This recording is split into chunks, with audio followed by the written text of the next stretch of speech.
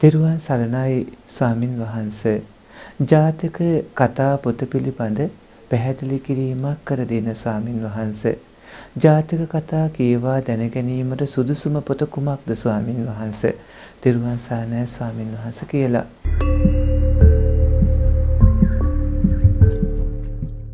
කරුණාවන්ත ගුණබර සත්පුරුෂ පින්වත්නි ජාතක කතා පොත් වහන්සේ කියලා කියන්නේ මහබෝධිසත්වයන් වහන්සේගේ අතීත ජම්ම කතා. ජාතක පොත පරිශීලනය කරන්න ඕන විදිහක් තියෙනවා. ඒ කියන්නේ අතීතයේදී මහබෝධිසත්වයන් වහන්සේ විවිධ අවස්ථාවන් වලදී උප්පත්තිය ලැබලා හිටියේ තැනුත් ශ්‍රාවකයන් වහන්සේලා විවිධ විදිහට උප්පත්තිය ලැබලා හිටියේ තැනුත් සිද්ධ වුණු අතීත සිද්ධිත් ඒ අතීත සිද්ධිවලදී හුවමාරු වෙච්ච දෙබසුත් ගාථා සහ කතාව තුල සඳහන් වෙනවා. එතකොට ඒ දෙබස් භාග්‍යවතුන් වහන්සේ පසුව ලොවට විවර කරන්න ඕන නිසා දේශනා කරනකොට ඒ භාග්‍යවතුන් වහන්සේ ඊ දේශනා කරපු අතීත ඒ කතා පුවතේ දෙබසේ තියෙන කාරණා අනුමත කළා කියලා වර්තවා තීරුම් අරගත්ත හින්දා සමහර ලෝකයා ජාතක පොත් වහන්සේ පසු කාලයේ ලියවුණු එකක් වගේ කියන්න උත්සාහ කරනවා. ඒකට හේතුව ඒ අය ජාතක පොත් වහන්සේ කියවන්න දන්නේ නැතිකම.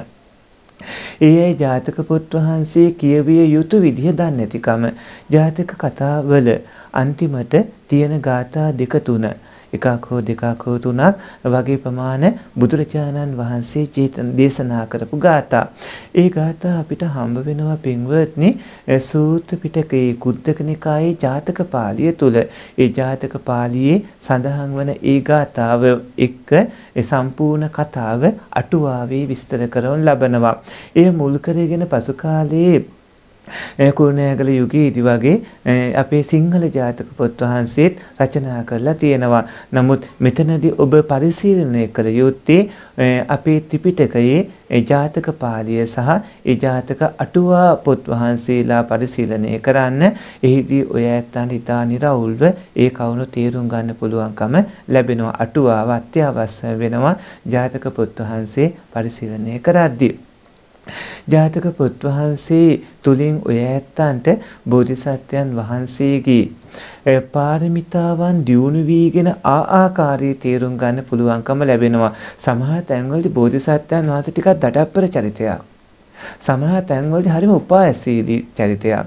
තවත් සමහර තැන්වලදී අර කේවට්ට බවුණගේ සිද්ධිය උම්මගේ ජාතකයේදී එහෙම හරි අපූර්ව සිද්ධි සිදු කරලා තියෙනවා. ඒ ප්‍රඥා මහිමයත් විශාලයි.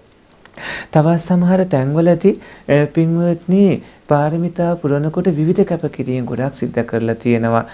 මේ විදිහට බෝධිසත්වයන් වහන්සේගේ අතීත චරිතාපදානවල විවිධ කවුණු දැනුවත් වෙන්න ඔය ඇත්තන්ට පුළුවන්කම ලැබී විජාතක පොත් වහන්සේ වද්දී ඕනෑම මේ ගිහි පැවිදි පින්වතෙක් විසින් ජාතක පොත් වහන්සේ පරිශීලනය කර තිබිය යුතුයමයි. මොකද ජාතක පොත් වහන්සේ කියවලා තියාගත්තොත් ඒ ඇත්තන්ට ධර්ම ඥානයත් ගොඩාක් වැඩෙන්න ඒක උපකාරත් වෙනවා. ජාතක කතා කියවා දැන ගැනීමට සුදුසුම පොත මොකක්ද කියලා ඇහුවොත් පින්වත්නි ජාතක කතා කියවා දැනගන්න ඔය ඇත්තන්ට සුදුසුම පොත් අපි මේ කිව්වේ ජාතක පාළිය සහ එහි අටුවා පොත් වහන්සේලා. ජාතක පාළියත් එහි අටුවාවත් ඇසුරු කරමින් ඔය ඇත්තෝ භාග්‍යවතුන් වහන්සේගේ අතීත බෝසත් අවදියේ හැසිරුණු ආකාරය සිද්ධ වුණු විදිහත් ඒ අතීත කතා වර්තමානයේදී දේශනා කරමින් බුදුරජාණන් වහන්සේ අන්තිම ගාථාව දෙක තුනේදී ලෝකයාට දුන්නු පණිවිඩයත් කියන කරුණු දැන ඉගෙනගෙන සසරින් එගොඩ වෙන්නට උපකාර කරගන්න.